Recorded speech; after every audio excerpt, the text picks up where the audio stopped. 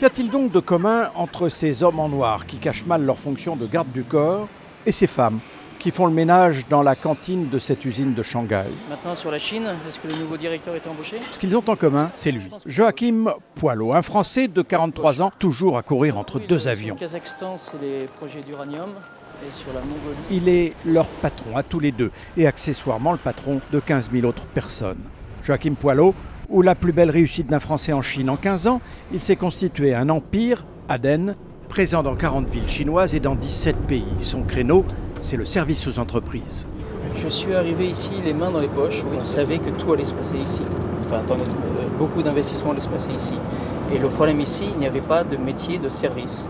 Maintenant, vous comprenez pourquoi je suis arrivé à Shanghai. Il y a 15 ans, il y avait toute la ville était en chantier. Et encore aujourd'hui, dès qu'on sort un petit peu de la ville, il y a des chantiers partout. Et chantier veut dire projet pour nous, parce que les clients ont besoin de nous dès le démarrage du chantier. Ensuite, on les sécurise, on nettoie leur projet. Et ensuite, quand il est monté, on peut faire la restauration et la maintenance du bâtiment. Dans cette usine, M. Poilot fournit sécurité, restauration, nettoyage et maintenance. La totale, en somme, les quatre services maison. Le client est content, parfait. Mais entre-temps, le boss a reçu un message sur son téléphone. On vient de recevoir, donc on vient de gagner un nouveau projet de restauration collective pour un nucléaire euh, engineering science à Shanghai.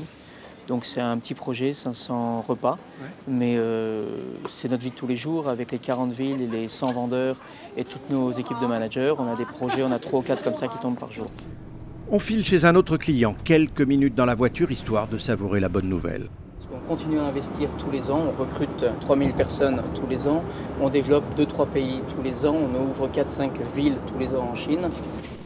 Ici, l'entreprise fournit des agents spécialisés anti-incendie. On se croirait à l'armée.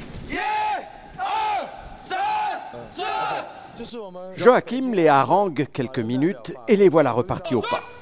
Le style militaire, c'est pas trop la tasse de thé du patron, mais les Chinois adorent ça, paraît-il alors. Alors retour à l'aéroport. Joachim Poilot n'était qu'en transit, arrivé d'Indonésie, il part pour la Mongolie. Le grand écart, la rançon du succès. Les entreprises chinoises pour lesquelles il travaille lui demandent maintenant de fournir le même service, mais aux quatre coins du monde.